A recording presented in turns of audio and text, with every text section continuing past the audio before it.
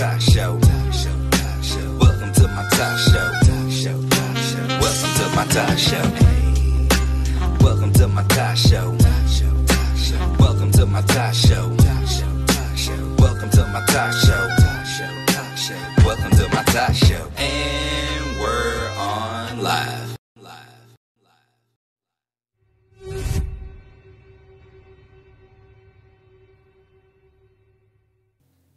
Yo, yo, yo, what it do though? Baby. I already know, man. Back again with another episode of Controversial Conversation. Actually, I gotta be gotta be real with y'all. we doing something different this time. So if y'all been following along, you know, my partner Tony B got his own podcast, The Open Minded Skeptic. Thing is brilliant, amazing. The production value, the content, definitely worth a watch and a replay. But uh, we decided to join forces. And whenever we joined forces, we felt that we needed to go ahead and give us some type of catchy superhero name, right? So whenever he's to come over here and help me with the executive producing or maybe even get in front of the microphone and the cam, we're to call this a controversial conversation with an open minded skeptic. And when I have the pleasure of being able to go on his show or help with the producing of that, we're going to call that an open minded skeptic having a controversial conversation. So, this is the first time that we're actually joining forces to combine together our efforts to create a production. And honestly, I'm excited because the thing that I get to talk about, though it is sad, it's something that brings a lot of a lot of passion to me, a lot of a lot of emotions that I think are, are worth feeling. So today we're going to talk about the life and times of Sidney Poitier. As a millennial, I didn't really get the chance to truly understand like the significance of somebody like Sidney Poitier because like y'all know how the American school system is. It kind of shields you from learning about certain people and then they enforce heroes upon you. So I never got a chance to really know who this guy was until I did independent study. And I started seeing like, bruh, this this man in the 50s and 60s, this dark-skinned Bahamian immigrant, right? This this man was a leading top 10 man in Hollywood breaking down barriers. Without Sidney, like without Sidney, there is no Jamie. There is no Denzel. There's no Viola. There's no Tyler Perry. There's none of that at this current moment. Who knows how long it would have taken? Now, he was not the first, right? He wasn't the first African American to win an Academy. That was Hattie McDaniel, and she won it for Best Supporting Actress in Gone with the Wind.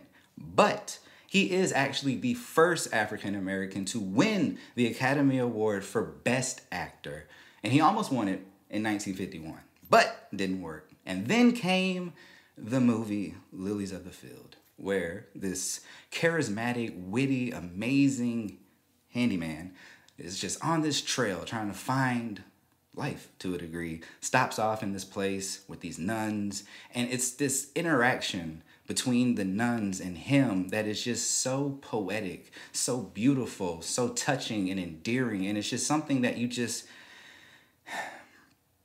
you you aren't prepared for. And obviously, the world wasn't prepared for it because he did end up winning the Academy for that. But what that did, even though not another black person won an Academy until 2003, I believe, but you know, whatever, we ain't talking about that. But what it did was allow African American men and women to start doing complex roles.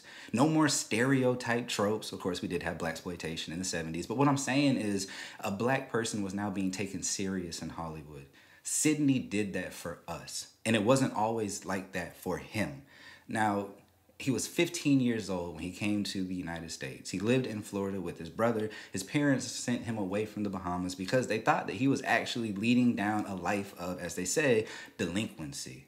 So he's chilling with his brother. He's trying to figure things out, but he has a culture shock. He's like, why?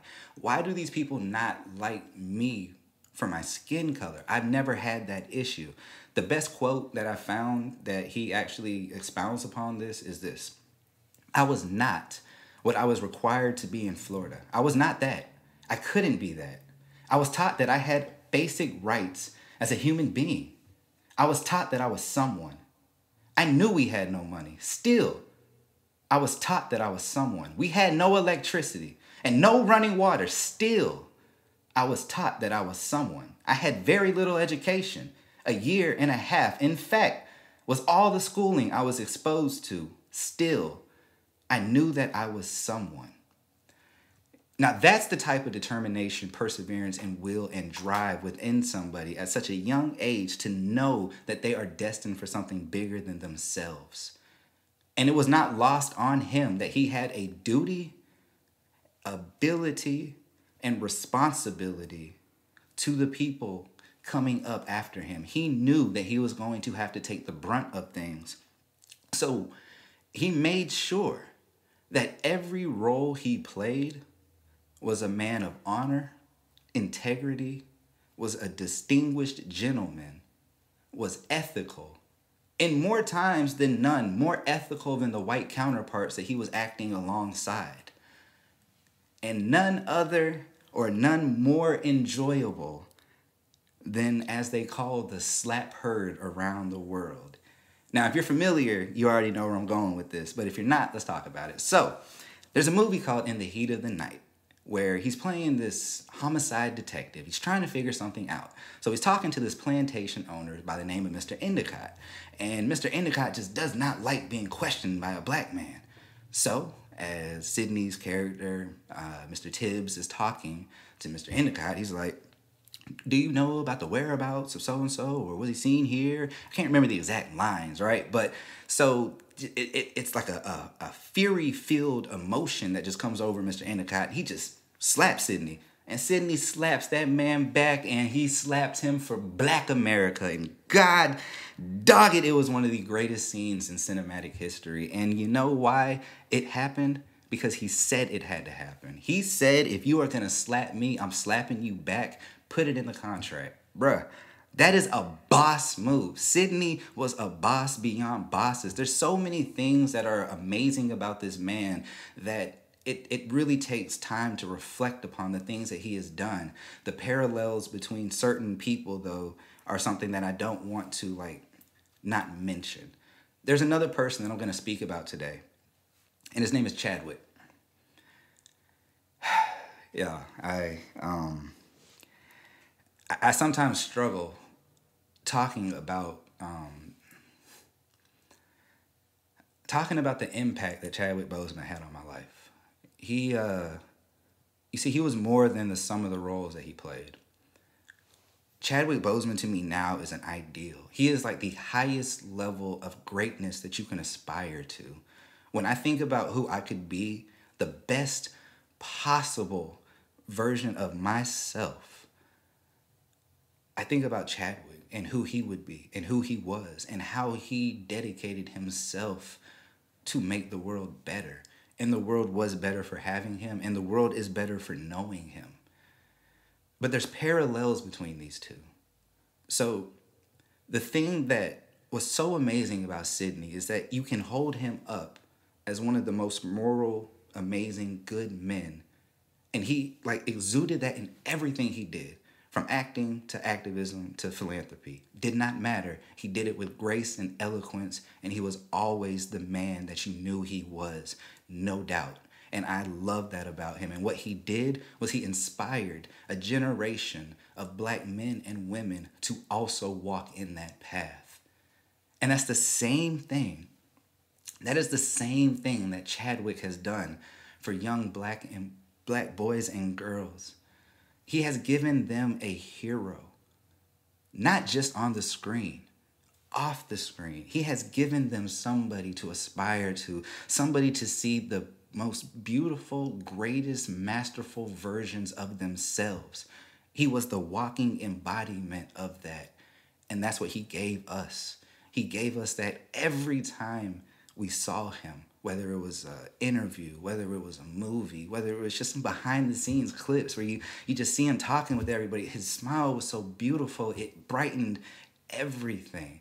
The way that the the people talked about him that worked with him and how how hard it hit them because of how much how much he gave. He gave everything he had. So who are we to give less? That's what I want you to really get from this. I need you to truly understand that there is there's untapped potential within you. You have the ability to be greater than you ever thought. And the way that I know this is because I got the chance, the chance to experience watching and envisioning these two amazing, monumental icons. These men were bigger than life. These men were one thing that I can never truly like describe. But I know that every time I see a picture or a video or this interview or I think about who these people are to me, it always fills me with love, joy, and a sense of honor. It, it, it shows me that without them, there is none of this. There isn't. The show isn't here. I'm not here doing this. I don't know what I'm doing, but I don't dream like that. If I don't have people set that path for me to walk that path after them, I don't have a path to walk. Sure, people forge their own, but not everybody has that ability. Not everybody can be Sidney. Not everybody can be Chadwick, but everybody can be the best versions of themselves. And that's what we have to strive for. In these crazy, chaotic times of uncertainty, of not knowing what is going on, always remember that there are people who have set the example, who have laid the precedent of how to be good, ethical, moral, righteous, upstanding. We have blueprints, and we don't have any excuses to use anymore to not be better to ourselves and to each other. So, I just want to thank Mr. Sidney Poitier, and I would just want to thank Mr. Chadwick Boseman for inspiring, for influencing, for motivating, and for helping me to see who I can be the greatest version of myself, though I haven't reached it yet, I know it's something to aspire to. I know it's something that can be truly captivating and can help change the world because I've seen these men do that very thing. And it wasn't just because they were amazing actors, it was because they were amazing men. Yes, they were great, but they were also good. Never forget that. So, right now, I just want to leave you with the life and times of Sidney Poitier. No more yazza.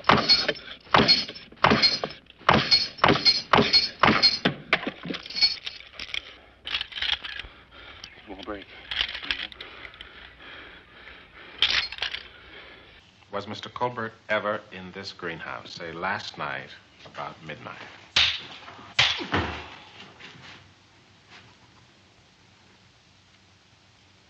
Sidney Poitier.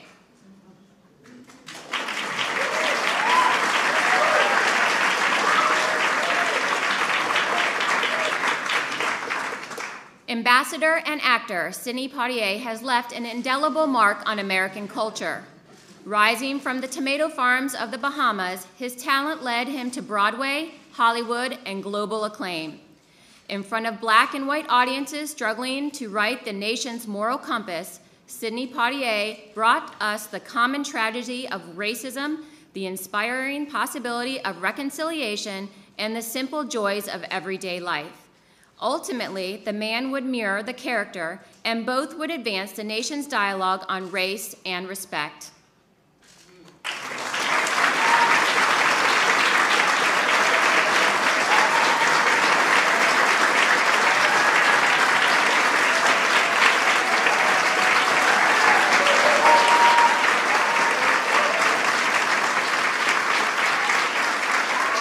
How does 15 years old, surviving on your own on the street in New York. How did you survive? Okay. In the window, there's a sign that says, Relief Dishwasher Wanted. And I went down there and they put me to work. Not only did they put me to work, they were paying four bucks a night, and I could eat for three meals. So, when I finished the first night's work, I went to the bus station, got my little valise out, intending not to spend my four dollars as I spent my three dollars. I went to sleep in the toilet. Used to be pay toilets in the, and it cost a nickel. So I put a nickel in the thing, and I got in, I put down the seat, I sat there, put my feet up against the door, and I would sleep uncomfortably, needless to say. My mother was a certain kind of woman, and my dad was a certain kind of person. They had a view of life. They passed on to me everything that they had learned, and they hoped that I would carry it with me into my adulthood.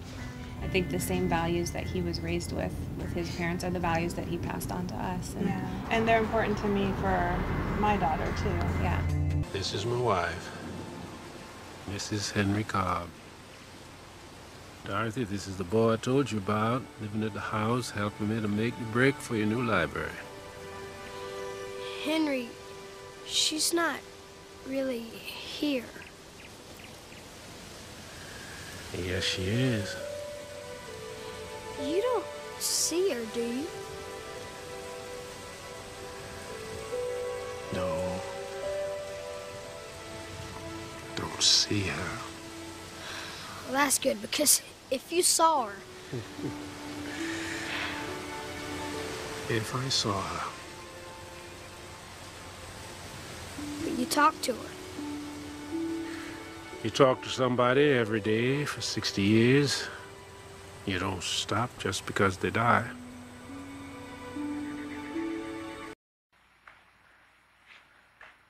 Well, it's it's English lesson time. I build a chapel. I build the chapel. You build a chapel. You build the chapel. Oh, we build a chapel. We build the chapel. He built the chapel. Amen. Amen. Amen. Amen. Amen. Amen.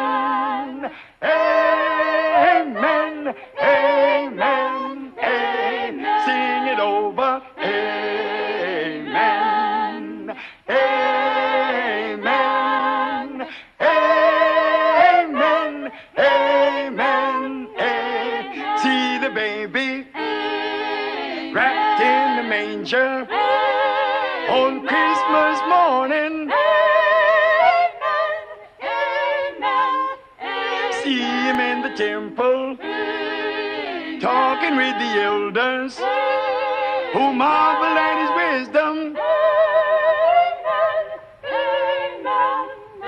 Down at the Jordan where John was baptizing and saving all sinners. See him at the seaside, talking with the fishermen and making them disciples. Marching in Jerusalem.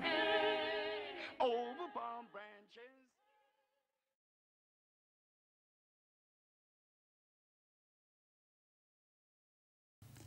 Ladies and gentlemen, brothers and sisters, family from all around the world, I thank you so much for just giving me a quick moment of your time. You know, I know a lot of people have spoken on how Chadwick Boseman impacted their life. And it was a beautiful outpouring of adoration and admiration and love for somebody who truly deserved it. I'm so grateful to see how he impacted so many people similarly to how he did the same for me. But I felt that it was only right that I say a little something. Something that I feel for myself will help memorialize, give tribute to, and honor a real live superhero. Because you see, far too often are we callously reminded of the unwavering and unforgiving truth that life is just unfair. As a matter of fact, I would say cruel is a more apt description of the turmoil sometimes experienced when navigating through this existence. Best summed up by the brilliant poetic rapper AZ. Life is a bitch and then you die. That's why we get high. Because you never know when you're going to go. And so as I sit here, you know, thinking about how Nipsey Hussle's born day had passed and Kobe Bryant's born day had passed and my grandfather, the professor, had passed and the Honorable John Lewis had passed and so many heroes and icons and titans had passed. And then this one. You see, to understand why this death hit the black community in a deeper, emotional, bordering on spiritual level is because of what he truly represented. He was more than just the sum of his roles. Though he portrayed with pinpoint accuracy and a phenomenal grasp of these historic figures that we will never forget, bringing the likes of Jackie Robinson, Thurgood Marshall, and James Brown to the screen and exemplifying black excellence in every part that he played. And then there was Prince T'Challa,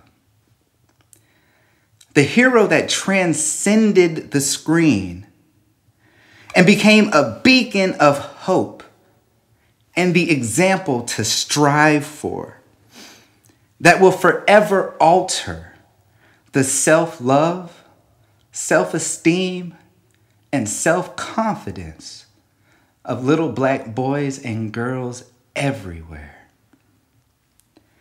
You see, more than just a character in the MCU, Prince, and actually more recently, King, T'Challa was the best of us. Because Chadwick Boseman was the best of us. We saw in him what we knew we could see in ourselves if we just believed enough. You know, hero hero is a funny word. You know, it I know the people that I mentioned earlier might not be heroes to all, but to me, they they were the epitome of a hero. Because a hero isn't always in the cape or the uniform. Hero is somebody who inspires you to be the greatest version of yourself. So even though T'Challa, the Black Panther, was the superhero on the screen, Chadwick Boseman was the superhero off the screen. Battling cancer and still donning that all black vibranium fit that we've come to love, just to bring us hope and faith that we can all be heroes, will never be forgotten. And his ability to inspire will forever be his greatest superpower. He will be loved. He will be missed. But he will never be forgotten. Thank you, Mr. Boseman, for showing this grown man that he can be anything he ever dreamed of.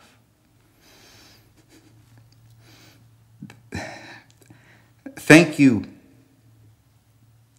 Mr. Boseman, for reactivating the childlike enthusiasm and love for law, love for life I thought I lost. Thank you, Mr. Boseman, Thank you, Mr. Boseman, for being a beautiful, shining example of black excellence and black royalty. Long live King T'Challa. Long live Chadwick Boseman. Wakanda forever.